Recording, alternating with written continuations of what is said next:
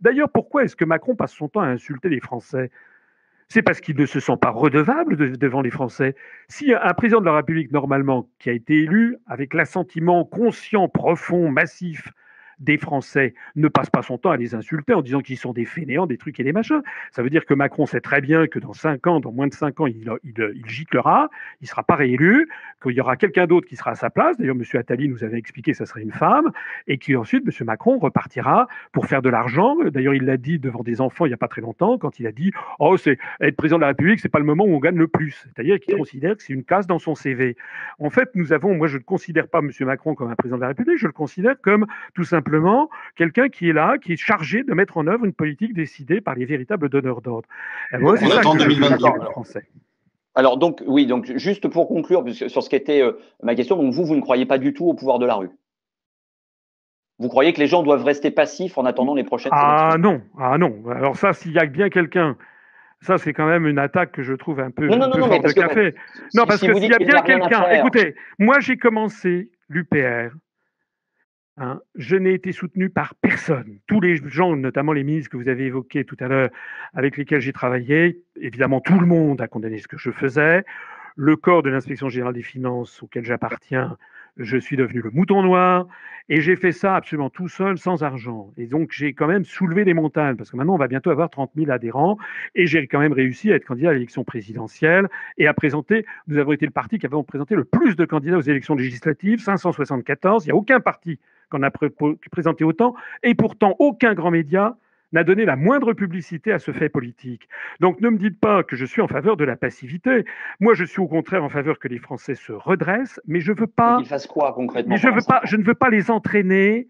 Je ne veux pas. Je ne veux pas les les tsipraciser. Voilà. Je ne veux pas faire un truc, si vous voulez, les entraîner vers un truc euh, comme là, ils viennent de se faire macroniser. Qu'est-ce qu'il faut qu'ils fassent alors pendant les cinq prochaines années, monsieur Qu'est-ce qu'ils doivent faire? il faut qu'ils comprennent. Nous avons affaire à une guerre de l'intelligence. Qu'ils comprennent et qu'ils attendent. pas qu'ils attendent, qu'ils comprennent, qu'ils se mobilisent. Nous allons nous présenter aux élections européennes de, 2000, euh, de 2019, c'est dans un an et demi. Et il faut que, voilà, qu'ils comprennent le verrou. Et donc, en, attendant, en attendant, ils se préparent pour les élections euh, européennes. Mais ils peuvent défiler. Encore une fois, nous avons des, beaucoup de militants qui sont allés défiler. Moi, je vais, je vais en défiler, parce que vous croyez pas, vous croyez pas que les, les, défilés, les manifestations puissent amener un bouleversement politique. Donc, en fait, c'est aller défiler juste pour passer le temps en attendant les élections européennes. mais ça, écoutez, que vous dites. écoutez, je, n'en sais rien, mais vous, vous êtes, vous êtes certain, vous, que les, manifestations qui ont lieu le 23 vont changer les choses? Vous en êtes certain ah non, non, non, non, non, on peut jamais être certain de rien, mais on bah, s'engage en, espérant que. Bah, euh, donc on s'engage et on y va. Donc est-ce que vous, vous croyez qu'il est possible que la rue euh, amène à un changement démocratique? Même si vous n'en êtes pas certain, mais est-ce que vous pensez que c'est possible et que ça vaut le coup d'y aller? Écoutez, je n'en sais rien. Moi, je pense, je pense que, euh, je pense que, on a vu des, des, cas récemment. Vous savez, il y avait une nuit debout. Vous vous rappelez Nuit debout? Il y avait eu des, manifestations considérables, etc. Puis ça, ça n'a débouché sur rien. Moi, si, vous voulez, je, considère que les grands médias du pays sont encore contribuent encore largement à façonner l'opinion publique. Donc l'opinion publique est dans une situation assez étrange parce qu'à la fois, elle ne croit plus vraiment dans les grands médias, et à la fois elle n'ose pas s'en affranchir complètement.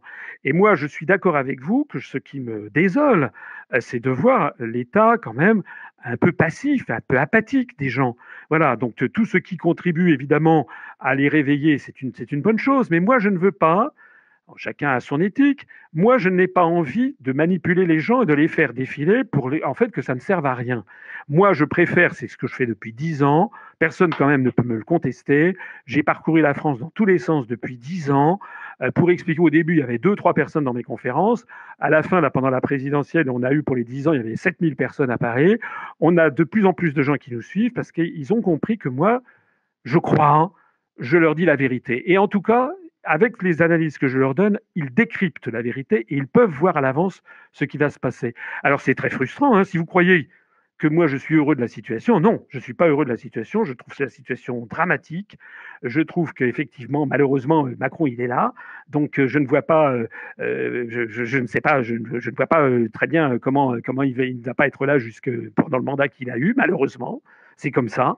en revanche, que l'on contribue à de nouveau à faire progresser la, la compréhension des choses, l'origine des problèmes et le fait qu'il y a une vie après l'Union européenne, eh ben je pense que ça c'est essentiel. Et moi je suis tout à fait d'accord encore une fois. Moi je, vous savez, nous avons euh, nous avons des liens euh, euh, particuliers avec un certain nombre d'adhérents de France Insoumise.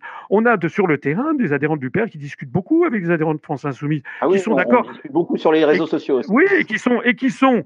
Bon, il y a des gens qui reprennent reprennent les, les, trucs de Rudi Reichstadt là, que je serais l'axe rouge brun, des conneries comme ça. Mais honnêtement, euh, les gens qui sont de bonne compréhension, il y, a, il, y a, beaucoup de points sur lesquels on a des convergences. Ça, ça, ça, c'est, pourquoi dire le contraire? C'est exact. On a beaucoup de points de convergence. Ça, c'est, ça, c'est tout à fait vrai. Voilà. Simplement, nous, on, on, a une, je crois, une analyse, des analyses qui, euh, qui vont au fond des choses, comme disait De Gaulle. Il faut aller au fond des choses. Voilà. D'accord. D'accord. Alors, on va, on va enchaîner. Oui, ah, pardon. Tu, pardon. tu voulais donner la euh, parole à Stelbeck ou oui, c'est ça? Oui, oui, tout à fait. Et donc, bah, si, je, peux résumer en quelques mots votre, point de vue, Monsieur Asselineau, euh, vous ne souhaitez pas envoyer les personnes euh, dans la rue car vous n'êtes pas certain, enfin, vous, pas certain de, la, fin, en fait, de la finalité positive d'un tel mouvement, mais par contre, vous les encouragez à se politiser et à se, rendre compte, en fait, et à agir de manière locale potentiellement. En, gros, c'est ça. Euh, euh, je n'ai pas du tout interdit aux gens d'aller. Je répète, j'ai dit, nous avons dit et redit que les gens chez nous qui voulaient aller manifester, il fallait qu'ils le fassent, hein, bien sûr. Euh, mmh. Moi, je préfère qu'il y ait eu euh, beaucoup de monde à telle ou telle manifestation que s'il y avait eu personne. Voilà. Mais je ne veux pas, si vous voulez, c'est pas. Euh, je, suis je suis dubitatif sur la suite des, des, événements. Et moi, je crois qu'effectivement, c'est le vrai problème, le problème numéro un, c'est que les Français comprennent l'origine des, l'origine des difficultés. C'est ça le point numéro un. Et je pense qu'il faut faire de, de l'éducation populaire. Il me semble quand même que même mes pires adversaires reconnaîtront que euh, j'ai quand même été, me semble-t-il, depuis dix ans, celui qui a fait le plus d'éducation populaire auprès des gens en leur expliquant des choses qui parfois peuvent paraître un peu compliquées, hein. euh, comme ça ressortir les articles des traités, etc. On m'a brocardé, mais quand même, les gens qui m'écoutent et euh, qui, qui, vont se renseigner, ils disent en fait, c'est lui qui a raison, c'est lui qui nous dit la réalité des choses. D'accord, oui, ça, ça vous l'avez bien, bien développé durant cette interview. Je vais laisser la parole maintenant à Steinbeck. Désolé si Pour la dernière question, oui. Non, t'inquiète pas. Bonjour, monsieur Asselineau. Euh, bonjour. Ah, donc vous l'entendez? Oui, je vous... là j'entends, oui. Ah bah très bien on a pu noter à de nombreuses reprises, que ce soit dans votre programme ou, dans vos prises de parole, que vous donnez une très grande importance à la volonté du peuple et du peuple uniquement, avec l'usage de référendum entre autres, euh, en cas d'accession au pouvoir. Est-ce que vous pousseriez cette logique euh, jusqu'au bout en offrant le droit à l'autodétermination aux régions françaises qui présenteraient des, des velléités séparatistes? Je pense aux territoires ultramarins, à la Corse, à la Catalogne française ou au Pays Basque, voire même à la Bretagne. Alors, vous m'entendez là? Oui, oui, parfaitement. Alors, il y, a, plusieurs choses là-dedans. Euh, il y a euh, au sein de la République euh, un territoire comme la Nouvelle-Calédonie où il va y avoir en 2018 un référendum d'autodétermination. D'ailleurs, je me rendrai en Nouvelle-Calédonie L'an prochain, c'est un territoire dans lequel j'ai d'ailleurs vécu, que je connais.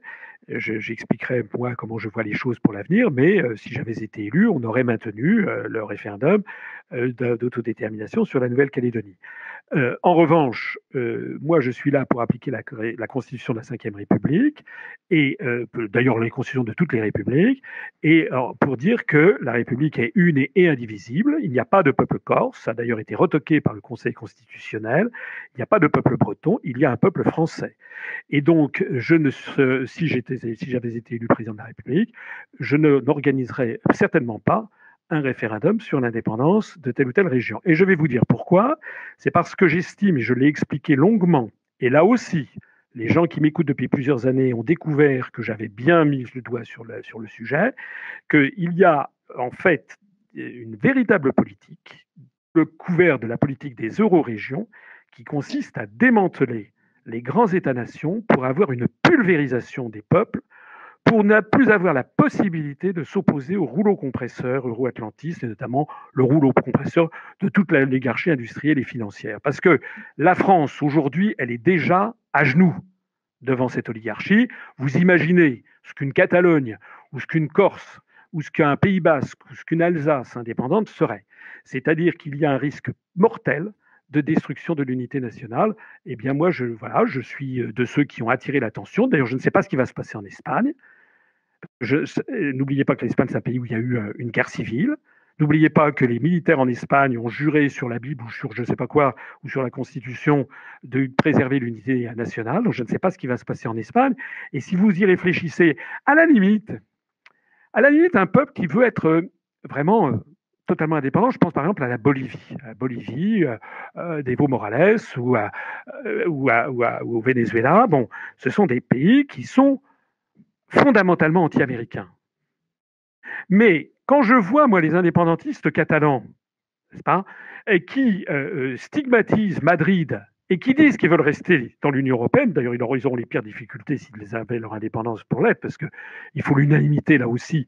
Et étant sortis de l'Espagne, ils seraient, sorti sortis ipso facto euh, de, la, de, de l'Union européenne. Pour rentrer de, dans l'Union européenne, il faudrait l'unanimité des autres. Et donc, non seulement l'Espagne, mais probablement également la Belgique, le Royaume-Uni, si le Royaume-Uni est encore là, et un certain nombre, l'Italie, un certain nombre d'autres États, voyant leur propre situation intérieure, euh, interdira à la Catalogne de rentrer. Mais c'est quand même incroyable euh, que, l'on stigmatise quand on est à Barcelone le prétendu impérialisme de Madrid et que l'on ne voit pas l'impérialisme américain ou l'impérialisme de la BCE. Enfin, c'est quand même dire que la, Catalogne est une région riche et que c'est scandaleux qu'elle paye pour les autres régions pauvres de l'Espagne. D'abord, ce n'est pas un sentiment particulièrement, particulièrement euh, extraordinaire. C'est quand même un sentiment égoïste, mais surtout, c'est que les gens qui disent ça ne comprennent pas que s'ils sont une Catalogne indépendante dans l'Union européenne, ils ne seront pas indépendants du tout et qu'ils devront payer non plus pour les, la, Galice ou l'Extrémadour, mais ils devront payer pour la Bulgarie ou la Roumanie. Donc tout ceci me paraît. Ce qui se cache derrière. Ne font-ils pas déjà Ce qui se cache derrière, c'est euh, vraiment le rouleau compresseur de l'impérialisme américain et anglo-saxon qui est, qui est derrière. Voilà. tout à fait. Alors, s'il si, vous plaît.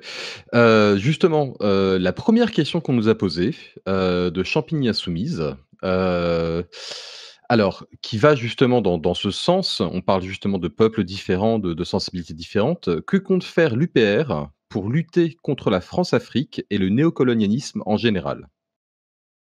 Alors ça, je l'avais longuement, enfin je pas longuement, mais je l'avais expliqué, notamment pendant la campagne présidentielle.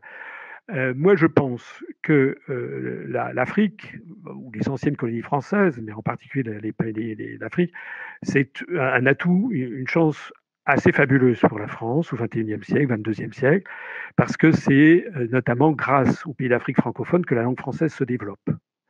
Euh, j'avais une fois débattu sur Canal 23 une émission avec, euh, avec Christophe Ondelat au moment de la loi Fioraso. Je m'étais indigné euh, que l'on autorise maintenant l'enseignement en anglo-saxon, enfin en anglo-américain à la Sorbonne, etc. Euh, J'avais été confronté à un président d'université de Toulouse 3 qui trouvait ça très bien, et la seule personne qui, m'avait appuyé, euh, c'était Calix Beyala, qui est une romancière euh, euh, camerounaise, et qui s'était tournée vers les autres en disant vous êtes des traîtres, vous trahissez votre propre langue. Donc moi je pense que vous savez que la langue française, contrairement à une idée reçue, est une langue qui se développe énormément notamment grâce aux pays d'Afrique francophone. Donc moi, je suis favorable à ce que l'on euh, redonne comment dirais-je, que l'on donne, pas redonne, que l'on donne à la France et à l'Afrique et aux pays d'Afrique francophone et de la francophonie plus généralement un angle tout à fait nouveau. Moi, j'ai par, par, exemple proposé que le Erasmus. Vous voyez, par exemple, aujourd'hui, il y a Macron qui dit qu'il faut que euh, tout le monde, qu'il y ait des échanges à l'intérieur de l'Union européenne. moi, je dis qu'il faudrait qu'il y ait un Erasmus, euh, par exemple, au niveau des, des, des lycéens, avec, euh, je sais pas, avec, avec, des lycées à, Cotonou, à Dakar, ou je ne sais pas où. S'agissant de la France-Afrique, j'ai toujours dit, je répète, que fidèle avec, à mes, mes analyses, si j'étais élu président de la République, je proposerais aux pays d'Afrique qui le souhaitent de sortir du CFA pour qu'ils aient leur propre monnaie. Moi, je veux que la France sorte de l'euro pour récupérer sa monnaie nationale, pour qu'elle définisse sa propre politique monétaire. Je, serais inconséquent si je ne proposais pas la même chose aux autres. Donc, j'ai dit, et je, et je le redis, qu'il faut que si les pays le souhaitent, il y en a peut-être qui ne le souhaiteront pas, mais ceux qui le souhaitent, que la France favorise leur sortie du franc CFA. Je dis également qu'il faudrait que la France, elle tourne la page au néocolonialisme, aux trucs sortis des années 60, tout ça c'est vrai. la France-Afrique, c'est quelque chose qui doit certainement être combattu. Mais il ne faut pas non plus que les pays d'Afrique, enfin ça serait dommage, que les pays d'Afrique basculent dans la Chine-Afrique ou dans l'Amérique-Afrique. C'est-à-dire qu'en fait, la France, elle est en train de se faire supplanter, elle est en train de disparaître aux yeux des pays d'Afrique avec lesquels nous avons tant de liens, y compris des liens affectifs, des liens migratoires, des liens familiaux, et que tout ceci se fasse au profit finalement d'autres puissances qui, qui, prendraient notre place.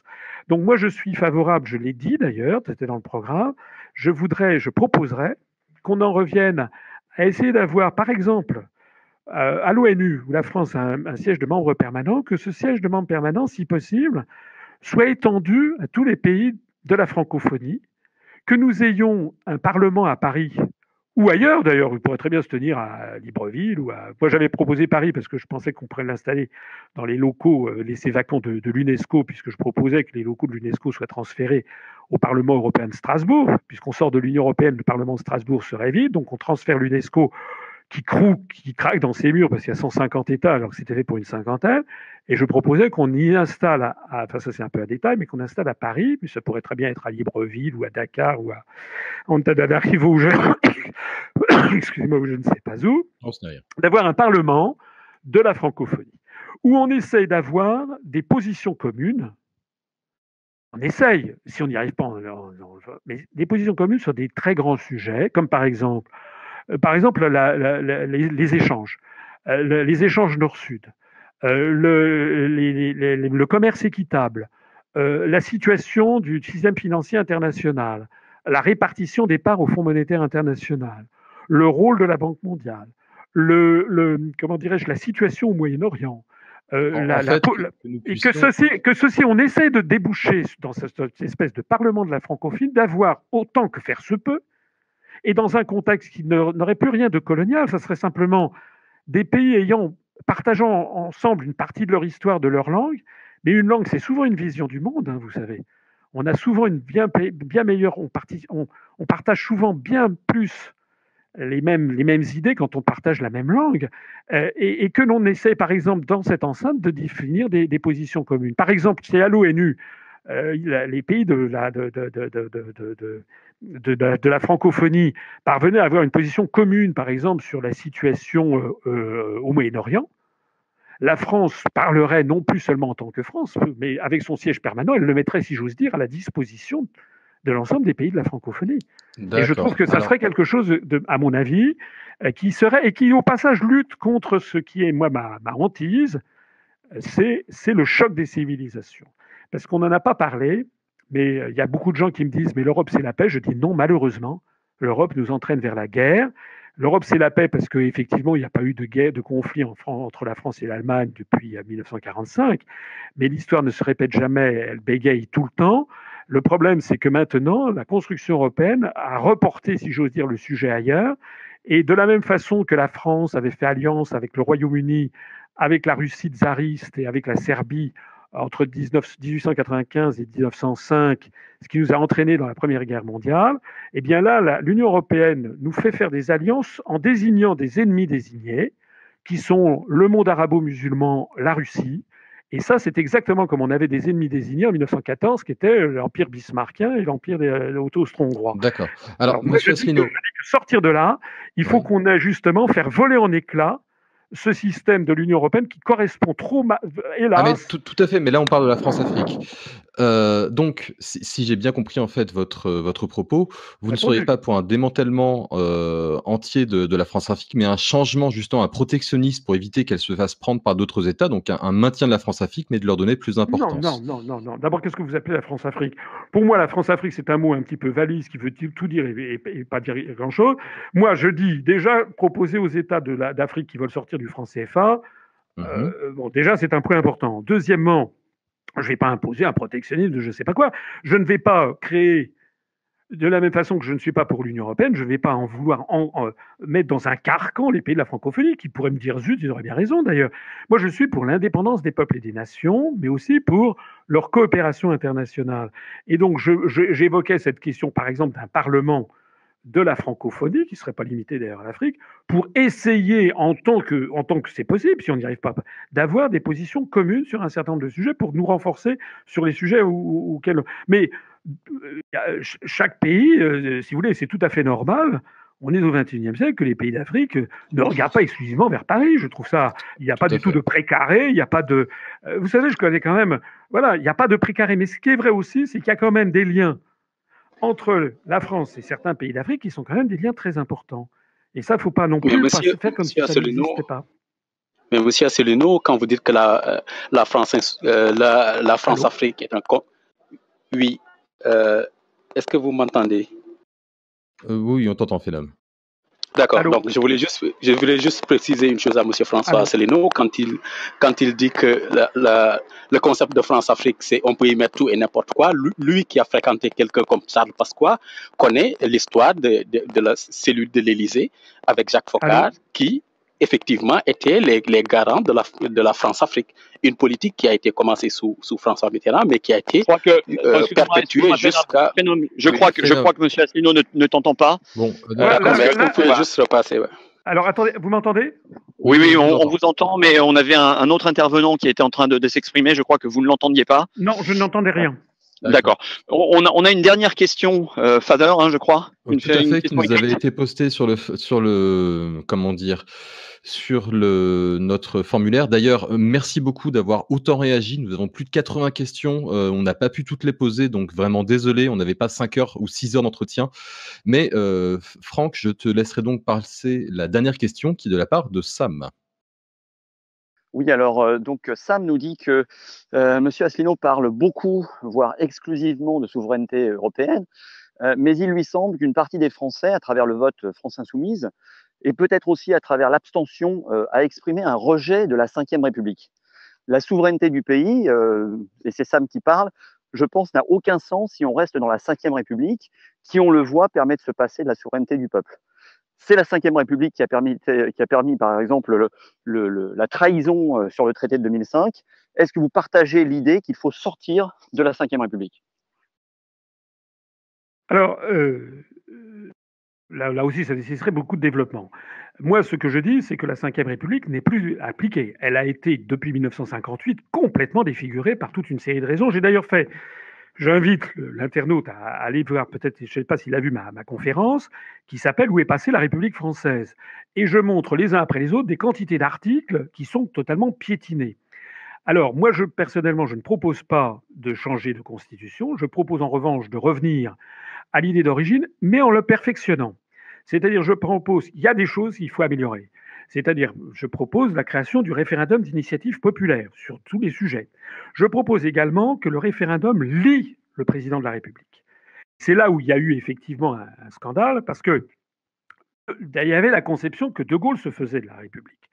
Il avait prévu un système qui, je crois, n'en déplaise à M. Mélenchon, et correspondait bien à l'esprit du peuple français. C'est-à-dire, les Français sont les héritiers d'une grande tradition monarchique ils, ont, ils aiment qu'il y ait un État régulateur qui assure la justice sociale entre les Français. Ça remonte à Saint-Louis. Et les Français, ils sont aussi les héritiers de la Révolution française. Ils aiment pouvoir couper la tête du roi. Donc il y a cette ambivalence face, au chef de l'État. Et De Gaulle avait bien conçu l'histoire en, disant, euh, avec une constitution qui donnait beaucoup de pouvoir au président, mais le président, si par exemple il faisait un référendum et que le référendum se soldait par un non, le président démissionnait. Et eh ben moi, malheureusement, c'est pas inscrit dans la Constitution. Et moi, ce que je proposais dans mon, système, c'est que le président de la République ou le peuple, puisque le, avec un système de pétition, le peuple français pourrait proposer des référendums comme le font les Suisses ou les, ou les Californiens, et qu'il y ait deux types de référendums. Soit un référendum où le président de la République ne dit pas un mot. C'est aux Français de décider, il reste totalement neutre et il dit, j'appliquerai la décision qui sera prise par les Français auquel cas je, trouverais qu'il je trouve qu'il serait légitime qu'il restât à son poste. Soit un référendum où le président de la République dit je vous invite à voter oui, et si le non l'emporte, eh bien il faut inscrire dans la Constitution qu'à ce moment-là, il doit présenter immédiatement sa démission. C'est-à-dire, et, ça, malheureusement, ça n'est pas inscrit dans la Constitution. D'accord. Effectivement, l'affaire de 2005, l'affaire de 2005 est scandaleuse parce que si mon système avait existé, M. Chirac aurait dû présenter sa démission. Voilà. D'accord. Alors, on a bien compris ce point-là. Il, y a, deux points sur lesquels je voudrais vous, faire rebondir très vite euh, pour conclure sur cette histoire de, enfin, sur cette, euh, sur ce sujet de, la Ve République. Euh, c'est la révocation des élus, par exemple. Est-ce que vous êtes, vous êtes pour dans une, dans un nouvel système, dans, de nouvelles institutions? Je, La capacité pour le peuple, justement, de ne pas attendre cinq ans, comme on l'a beaucoup, on en a parlé ce soir, de ne pas attendre cinq ans, mais si vraiment il y a un fort mécontentement ou, ou, euh, un décalage par rapport à l'exécution du mandat, par rapport à ce, au mandat qui avait été donné, la possibilité pour le peuple de revenir là-dessus. Donc la révocation. dans le principe, je n'y suis pas hostile. Euh, le problème qu'il y a, je, comprends, hein. par exemple, moi aussi, le système de représentation, moi je me suis prononcé pour le maintien du système majoritaire, mais avec une dose de proportionnel.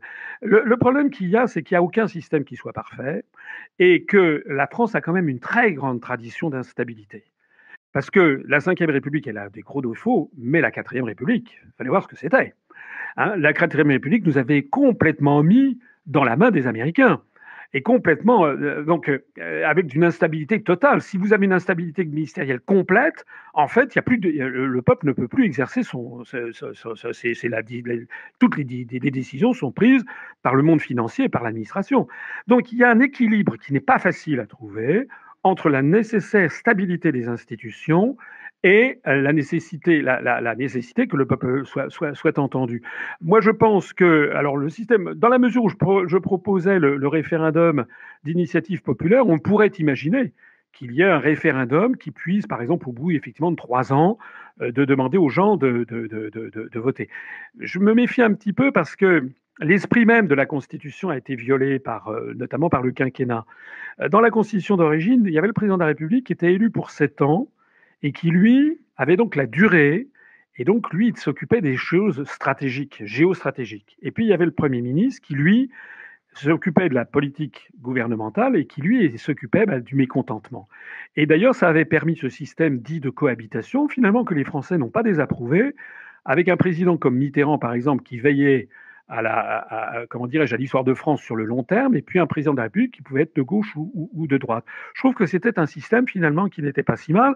Avec le quinquennat maintenant, il y a à l'évidence un homme de trop. Et de toute façon, comme le, le président de la République et le Premier ministre, en fait, n'ont plus les pouvoirs qu'ils avaient, parce que tous les pouvoirs qui ont été transférés à la Commission européenne à Bruxelles, à la Banque centrale européenne à Francfort ou à l'OTAN, dont le siège était à Bruxelles, mais qui en fait est dirigé depuis Washington, en réalité, ce qui se passe, c'est qu'il y a de moins en moins de pouvoir dans le gouvernement. C'est ça la vérité. Donc euh, euh, le, problème, on voit bien qu'ils sont en train de se marcher dessus. D'ailleurs, le Premier ministre est devenu quasiment une espèce de directeur de cabinet. Monsieur Macron, qui, a, d'une suffisance inouïe, s'occupe de tout. Quand il est allé faire son tour sur la directive des travailleurs détachés, il a tout simplement marché sur les, pas de. Il, s'est emparé de à la fois, il a, il, a, il a fait comme si le Premier ministre n'existait pas, comme si le ministre des Affaires étrangères n'existait pas, comme si la ministre des Affaires européennes, euh, Madame Loiseau, n'existait pas, et comme si euh, le secrétaire d'État aux Affaires européennes n'existait pas. Il y a, y, a, y a, vraiment une perte de, de, de pouvoir, d'ailleurs, qui va avec la diminution de, de l'État. Voilà, donc pour répondre, à, votre, la, question, moi je ne suis pas favorable à la, je ne suis pas favorable à la suppression de la Ve République, je suis favorable à son actualisation, à, son, à sa modernisation, à son, parfois, dans un certain nombre de cas, à revenir à la situation antérieure, euh, notamment par exemple les articles 88 alinéa 2, je crois, qui précisent que la, la, France fait partie de l'Union européenne, ça je ne suis pas d'accord. Euh, je, veux, je veux qu'on redonne vie, par exemple, à l'article, je crois que c'est l'article 3, c'est que euh, ou l'article, je ne sais plus. Alors on va, on va pas rentrer, excusez-moi. Qui, dit que les partis, les partis politiques doivent respecter le principe de souveraineté nationale. C'est quand même inscrit dans notre Constitution. Donc moi, je suis favorable à tout ceci. Quant, au quand un truc révocatoire pour les élus, il faut voir. il faut voir. Dans la mesure où il y a le référendum d'initiative populaire, je pense que ça pourrait éventuellement se passer dans ce cadre. Dans, la continuité de, ça, toujours sur les institutions et la démocratie, euh, le fait de, redéfinir le mode de, fonctionnement euh, ensemble justement de ce qui nous constitue en tant que peuple, à savoir donc cette constitution, le fait de faire appel à une, à une assemblée constituante, justement pour redonner au peuple français l'occasion de se réapproprier sa démocratie Est-ce que c'est quelque chose, une démarche à laquelle vous êtes favorable? Je veux pas de. Je veux pas d'avis. je suis pas. Je peux pas dire que je suis totalement hostile. Je suis pas non plus spécialement favorable. Parce que là, c'est, on, parlait, on parlait d'un des socles effectivement. le Brexit, le, le, Frexit pardon, étant le socle de, du programme de l'UPR. La sixième République, c'est un des socles de, de, de, la, du programme justement de la France insoumise. Oui, mais, oui, mais, il est important pour nous d'avoir votre sentiment. J'ai bien compris. Euh, moi, je, je, cette histoire de sixième République, excusez-moi, je, je, je, pas, je, ne vois pas très bien l'intérêt. Je trouve que M. Mélenchon devrait beaucoup plus expliquer aux Français ce que c'est que l'article 48, l'article 50, l'article 121, etc., l'article 63 des traités, plutôt que de faire miroiter une, une constitution, une sixième république. On changerait de constitution. Non, il, fait, fait rien miroiter. Il fait miroiter le fait qu'il va redonner justement au peuple français, à travers ce processus constituant, le, la possibilité de d'abord de se réapproprier cette fameuse souveraineté, et puis surtout de redéfinir euh, la démocratie euh, en France, comment elle fonctionne, comment on l'applique, euh, peut-être aussi pour réconcilier les Français avec avec leur démocratie Eh bien, moi, je dis que c'est un miroir aux alouettes parce que ce n'est pas le problème de la Constitution. D'ailleurs, notre Constitution, vous savez, quand Mitterrand a été élu en 81, en 1981, lorsque Mitterrand a été élu, eh bien, les Français euh, ont pu constater que la Constitution marchait très bien et qu'ils ont eu un gouvernement de gauche à l'époque qui a d'ailleurs mis en, œuvre le programme commun de la gauche. Alors on était pour, on était contre, c'est autre chose. Mais force est de constater qu'il a mis en œuvre le programme pour lequel il a été élu, avec des, nationalisations de tout le secteur bancaire, de grandes.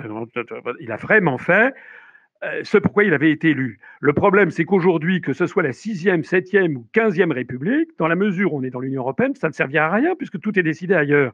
C'est pour ça que ça me paraît, si vous voulez, un débat un peu superflu et un, et un fait, en fait, je suis désolé de le dire, mais quelque chose qui est, euh, qui, qui, qui, est, euh, qui hors sol, qui est hors temps, le véritable problème, il n'est pas dans la Constitution. Elle a montré, elle a montré qu'on pouvait avoir des politiques radicalement différentes. C'est ça quand même qu'on Elle a montré la Constitution de la Ve République qu'elle permettait à à la fois d'avoir une grande stabilité des institutions et d'avoir un gouvernement efficace qui mène une politique très libérale comme celle de Giscard, ou au contraire une politique très à gauche comme celle de Mitterrand pendant sous, le, sous, le, sous, le, sous, le, gouvernement Mauroy.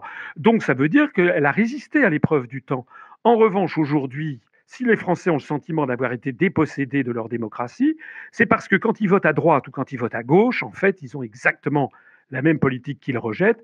Et moi, j'explique que cette politique, elle n'est justement plus définie par ceux qu'ils élisent, mais qu'elle vient des traités européens de notre appartenance à l'OTAN. Très bien, D'accord, monsieur. Alors, si, si, vous souhaitez, là, nous allons clore notre émission. Euh, je vais vous demander, justement, euh, s'il est possible que vous ayez une petite conclusion, un petit mot de la fin, en, 30 secondes, une minute, afin qu'on puisse clore, justement, qu'est-ce que vous voudriez dire à nos auditeurs, qu'est-ce que vous voudriez dire à la France, je ne sais pas. Euh, je vous laisse, justement, le mot de la fin, et après, je conclurai cette émission. Bah écoutez, ça sera un mot très simple, c'est que je vous donne un grand merci un grand merci parce que, euh, vous savez, en, 1815, lorsque euh, le 18 juin 1815, c'était un 18 juin, il y a eu Waterloo. Donc Napoléon a été battu à plat de couture, il s'enfuit à Paris, et puis il y a les débris de l'armée napoléonienne qui se rencontrent avec des débris de l'armée de Louis XVIII. Vous savez que c'était après les 100 jours. Et il commence à se tirer dessus. Et à ce moment-là, il y a le duc de Berry, qui est le deuxième fils de Louis XVIII, qui, qui, met entre tout le monde et qui dit arrêtez de tirer, nous sommes tous français. Et eh ben moi, ce que je trouve qui est, euh, franchement, je vais vous donner un coup de chapeau, parce que vous avez montré ce soir qu'on est tous français, qu'on a, moi, j'ai pris un grand plaisir à discuter avec vous, à répondre à vos questions qui sont tout à fait légitimes. Vous avez compris qu'il y a beaucoup de points sur lesquels on est quand même assez proches, même parfois très très proches. Euh, moi, c'est l'essentiel. Moi, je ne demande que ça. C'est d'abord et avant tout de faire renaître la démocratie, le goût euh, pour la vraie politique, pas la politique politicienne, pas la politique aérienne, mais d'aller au fond des choses un merci, et puis merci aussi à tous les, intervenants. Parfois, il y avait des coupures, je n'ai pas tout noté, mais je trouve que tous les intervenants ont, posé, si je peux me permettre, des, bonnes questions, et j'ai senti chez eux, non pas de l'agressivité, mais une curiosité légitime pour me faire euh, accoucher de mes idées. Je les en remercie beaucoup. Merci, bah merci monsieur, monsieur Assino. Je voulais, par rapport à, quand, vous disiez simplement un certain nombre de proximités, c'est vrai qu'il y a un certain nombre de thèmes sur lesquels je pense on, peut retrouver des similitudes. simplement, le, le, la différence, parce qu'il y en a une, euh, c'est que les thèmes qui, pour nous, euh, pour le coup, pour la France insoumise et pour, pour ce mouvement euh, qui aujourd'hui va s'exprimer dans la rue, les questions sociales, les questions démocratiques, donc des institutions de cette sixième République, ne sont pas justement des questions subalternes comme, comme vous le, pensez. Ah, et, je comprends tout à fait votre, enfin en tout cas j'entends votre point de vue qui consiste à dire que tant qu'on n'est pas sorti de l'Europe euh, on ne peut pas se poser ce genre de questions. Euh, voilà, il y a un certain nombre de personnes qui pensent que euh, bah, peut-être voilà, il faut se les poser aujourd'hui et c'est probablement là que, que, tient l'essentiel de notre différence. En tout cas, merci beaucoup, Monsieur Asselineau. Merci à tous les, tous les auditeurs. Je crois que Fader, on, a, on a pulvérisé les records d'audience ce soir. Nous, sommes montés jusqu'à 1540 et des poussières auditeurs, donc très, très, très impressionnant.